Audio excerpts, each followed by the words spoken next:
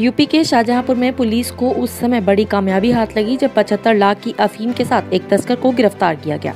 गिरफ़्तार किए गए तस्कर के पास से एक किलोग्राम अफीम, एक तमंचा, कारतूस बरामद कर पुलिस ने मादक पदार्थ तस्कर को जेल भेज दिया।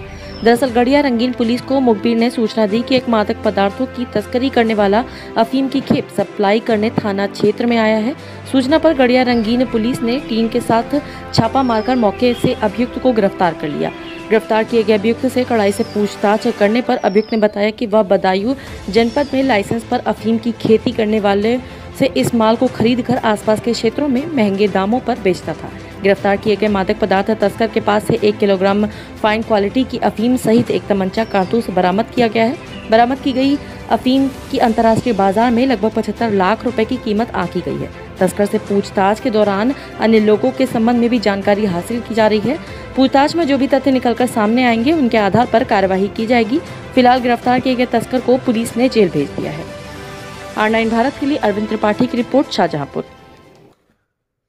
मादक पदार्थों की तस्करी करने वाले अपराधियों के विरुद्ध सतत कार्रवाई जनपद शाहजहांपुर में वरिष्ठ अधिकारियों के निर्देशन में चल रही है।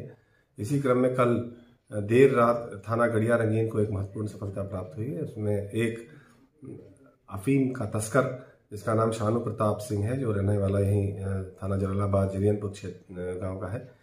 इसके संबंध में सूचना थी कि वो भारी मात्रा में अफीम पड़ोस के ज़िले से लेके आ रहा है और यहाँ इसकी खपत होगी। तो इस पर जो गड़िया रंगीन की टीम द्वारा घेराबंदी कर गिरफ्तारी की गई। गिरफ्तारी के समय उसके कब्जे से एक किलोग्राम फाइन क्वालिटी अफीम बरामद हुई, जिसकी अंतर्राष्ट्रीय कीमत लगभग पचहत्तर लाख रुपए है।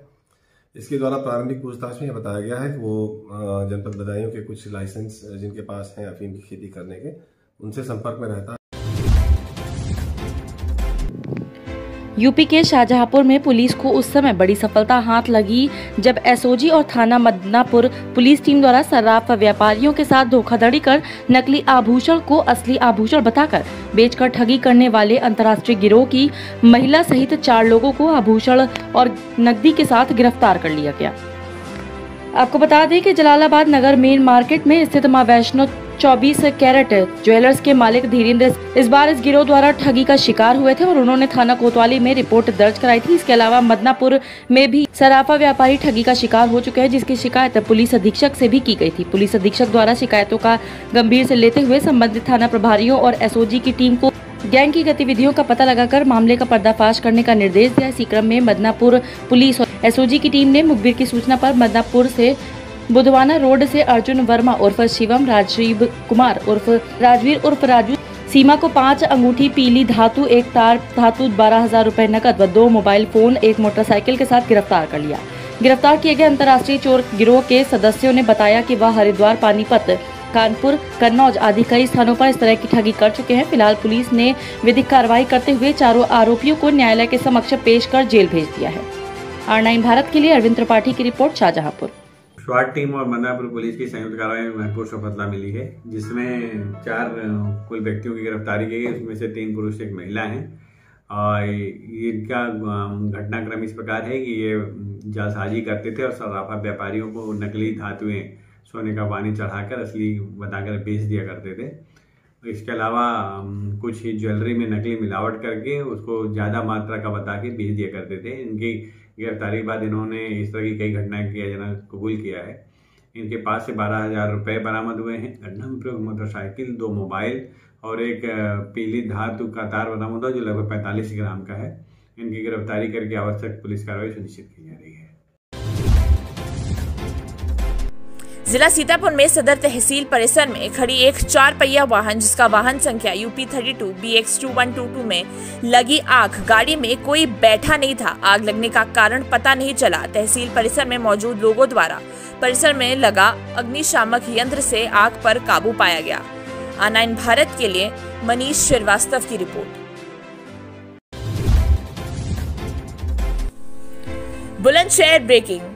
Jahangirabad police और स्वाट टीम की अंतर्राष्ट्रीय पेशेवर गोकाशों के गिरोह से मुठभेड़।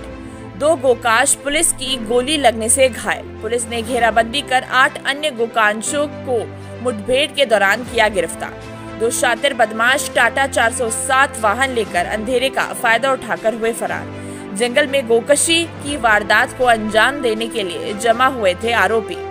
पुलिस की गोली से घायल होने वाले अकबर और मेहंदी हसन पर हत्या। हत्या का प्रयास पशु चोरी जैसे एक एक दर्जन से अधिक संगीन मामले हैं दर्ज। पुलिस ने आरोपियों से पाँच तवंचे, छह ज़िंदा व पाँच खोखा कारतूस, तीन हज़ार से ज़्यादा नशीली गोलियाँ, एक ज़िंदा गोवंश, चार छुरी व रस्सी आदि किए बरामद। आरोपी अकबर थाना अरनिया का हिस्ट्री शीटर है। पुलिस की गोली से घायल होने वाला अकबर मुखबिर की सूचना के बाद जहांगीराबाद के रिवाडा के जंगलों में हुई मुठभेड़ में गिरफ़्तार किया गया। आनंद भारत के लिए अमन सागर, बुलंदशहर से रिपोर्ट।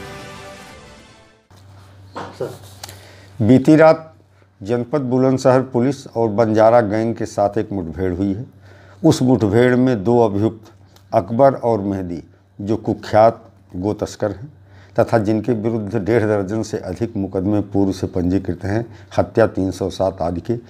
एक गिरफ़्तार हुए हैं और गिरफ्तारी के दौरान क्रॉस फायरिंग में इन्हें चोट आई है, घायलावस्था में हैं। इनके अन्य छः साथी भी मौके से गिरफ़्तार किए गए हैं। एक कुख्यात गैंग गो तस्करी के इरादे से आया हुआ था।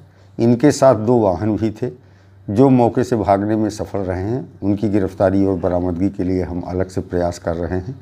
उल्लेखनीय है कि ये अंतर जनपदी स्तर का बंजारा गैंग है, जो पशुओं को घरों से चुराते भी हैं।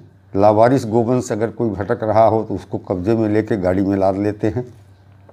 उनकी कटाई करके मांस का व्यापार करते हैं। तो इस तरह से पुलिस को एक महत्वपूर्ण सफलता मिली है और इस गैंग के प्रत्येक सदस्य के विरुद्ध दो, तीन से अधिक मुकदमे हैं।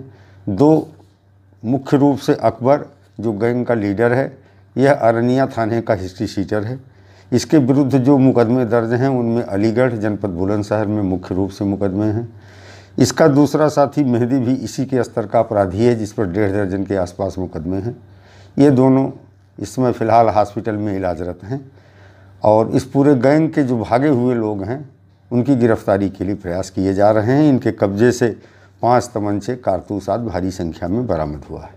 सर किसी बदमाश हत्या का आरोप भी है सर हाँ इनमें से एक अभियुक्त अकबर पुल पर पुलिस की हत्या का। सन 2010 में एक पुलिस पिकेट के सिपाही को रोकते हुए गाड़ी के साथ भागने का मुकदमा दर्ज हुआ था और इनके कब्जे से एक ज़िंदा गोवंश गोकशी के उपकरण आदि की भी बरामदगी की गई अवगत कराना है कि आज दिनांक 3 मार्च 2021 की सुबह थाना चरथावल पुलिस द्वारा अवैध शस्त्र फैक्ट्री को जब्त करते हुए खुसरोपुर रोड नहर पटरी जंगल ग्राम महाबलीपुर इर्क के खेत से एक अभियुक्त को अवैध शस्त्र बनाते समय गिरफ़्तार किया गया।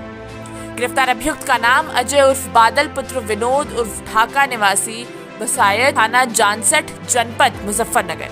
बरामदगी छह तमंचा व एक मस्कट 315 बोर, एक तमंचा 12 बोर, पाँच अदबने तमंचा 315 बोर 11 खोखा कारतूस विभिन्न बोर के, छह नाल 315 बोर, अवैध शस्त्र बनाने के उपकरण, एक शिकंजा, एक ग्राइंडर मशीन व पाँच प्लेट, पाँच बिट बोटी बड़ी दस फायरिंग पिन, दस चॉप लकड़ी की, एक आरी लोहा, ग्यारह आरी ब्लेड, तीन छेनी छोटी बड़ी, तीन पेचकस व दो हथौड़ी आदि व अवैध शस्त्र बनाने के अन्य उपकरण।